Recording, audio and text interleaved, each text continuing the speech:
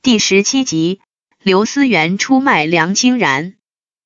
顾曼婷和陈东、陆真真一起揭发中庭集团恶意收购川白楼一事引起热议，中庭集团备受争议，刘思源急得不得了，但梁清然依然是泰然自若的样子。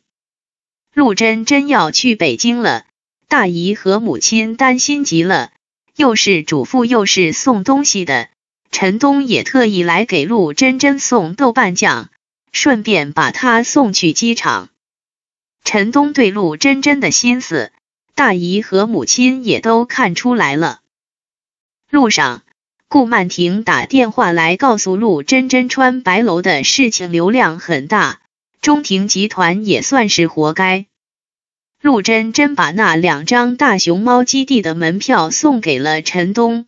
他想去也没有时间了，陈东便一脚油门去了熊猫基地。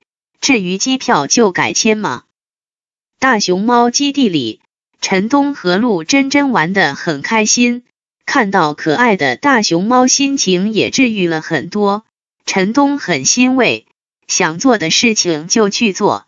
陆真真开心，他也很开心。去玩大项目基地。陆真真又带着陈东一起去吃面。陈东说：“老板这里的豆瓣酱不好吃，让他试试自己的豆瓣酱。”老板尝过后连连夸赞。陈东希望陆真真去北京后给自己一个地址，就当是替顾大鹏送豆瓣酱了。但是陆真真拒绝了。梁清然已经提交了顾大鹏得癌症的证据。想要证明他的死和中庭集团没有关系，但对上级而言，最重要的是平息大家的怒火，所以梁清然的处境也很艰难。梁清然让刘思源以后穿白楼的事情直接向自己汇报，刘思源很生气，认为他在架空自己，但梁清然希望他相信自己的判断。其实。周总之前就找过刘思源，如果川白楼出了事，梁清然也保不了刘思源，所以这让刘思源心中提高了警惕，尤其是看到秦心和梁清然表忠心的一幕。刘思源再次上了周总的车，周总说刘思源会被梁清然当作炮灰疯狂挑拨，随后。周总希望梁清然给自己一个背锅侠，平息大众怒火。刘思源多加试探，但梁清然似乎有事情瞒着他。刘思源心中很不满意。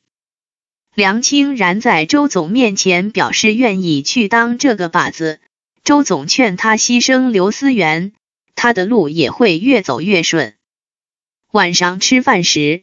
梁清然让刘思源去准备一份新闻稿，让他明天去新闻发布会澄清。刘思源顿时想起了周总说过的话，他去澄清就是被当作靶子。